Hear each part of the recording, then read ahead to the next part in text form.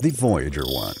Part of the Voyager program, it was launched by NASA September 5, 1977, with the mission goal of studying the outer solar system and interstellar space beyond the Sun's heliosphere.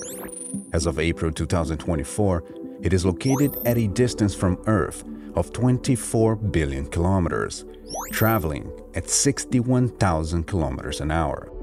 At this speed, it will reach the next star system in about 40,000 years. But five decades after its launch, human space travel capabilities is still in its infancy, let alone interstellar. Voyager's distance from Earth is evidence as to how vast our solar system is. Moreover, it is also a great initial test for human space exploration.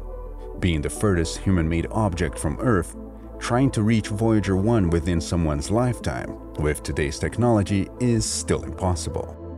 To illustrate this, let's consider what would it take to only catch up to the probe in a reasonable time frame, from Earth to Voyager 1 as fast as possible.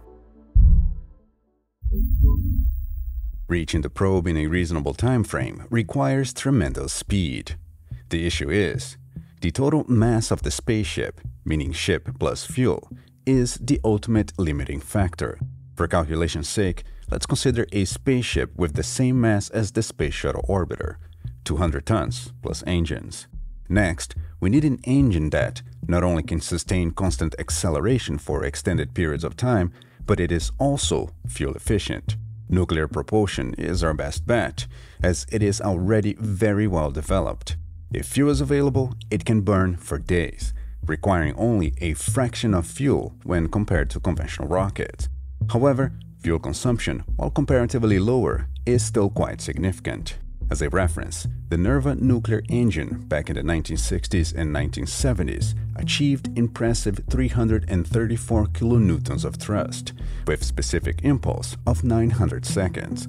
Keep in mind that specific impulse is a measurement of an engine's efficiency that is directly related to the velocity to which a propellant is ejected from the rocket. In simple terms, the more energy you can transfer to a propellant, the faster it moves the more force it exerts with less fuel required to accelerate the ship.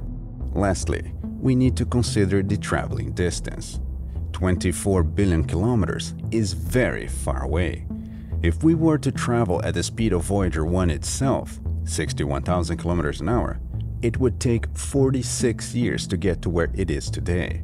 In other words, to catch up to it, we need to go faster. Every year, the probe travels 534 million kilometers. With that in mind, for every year that our ship must travel, the probe will be further away from its initial position. Traveling at twice the speed of Voyager 1, 122,000 kilometers an hour, it will take 45 years to reach the probe. As we increase the speed, we see that things become more reasonable at around 5 times Voyager 1 speed taking only 11 years to reach the probe. But the best speed to aim for is around 610,000 kilometers an hour, requiring only 5 years to reach the probe. There is only one man-made object that has reached that speed, and that is the NASA Parker Solar. It set the record speed of 635,000 kilometers an hour. However, while surviving in space is completely doable for astronauts, let's face it, a five-year mission goes beyond what humans can endure in zero gravity. Logically, sending an autonomous vehicle would make more sense, but believe it or not, choosing between humans or robots is the least of our problems. Using the rocket equation, we can determine the fuel ratio necessary to achieve that speed. Let's consider the following. Ship's dry mass of 240 tons.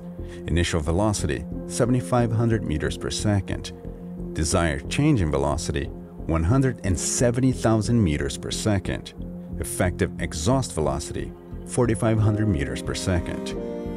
Putting everything together, and the fuel mass required is unbelievable.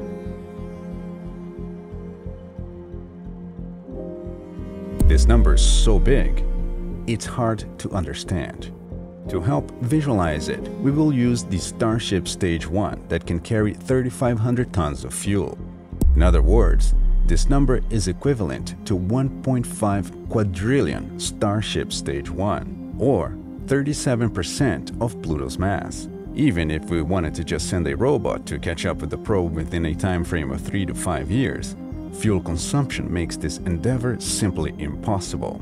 This is the very reason why scientists are hard at work developing engines with higher efficiency, such as ion and nuclear. Everything comes down to effective exhaust velocity. Just by doubling it, which is what nuclear engines offer at minimum, fuel consumption drops by a factor of 140 million. Though quite the fuel savings, 10 million starships are still necessary. Even solid-core nuclear engines cannot reach the probe in a reasonable time frame, but they aren't the only option. There are two other options that makes traveling billions of kilometers a walk in the park. The next technologies in line are molten and gaseous core, with 26 and 67,000 meters per second exhaust velocity respectively. The difference is that solid core reactor is limited by the melting temperatures of metal alloys.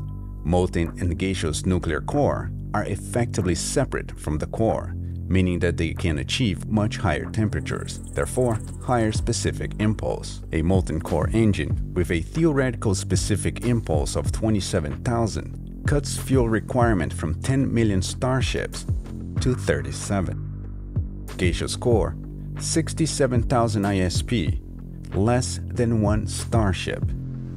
Technically, retrieving the satellite within 6 months or less would be possible with molten, and definitely a few days with gaseous core engine. Nevertheless, while doable in theory, the limiting factor is, of course, materials, as in metal alloys that can withstand the extreme heat. All in all, this simple exercise shows us how difficult interstellar travel is. Furthermore, the development of better, powerful, and efficient engines such as nuclear isn't a question, it's a necessity.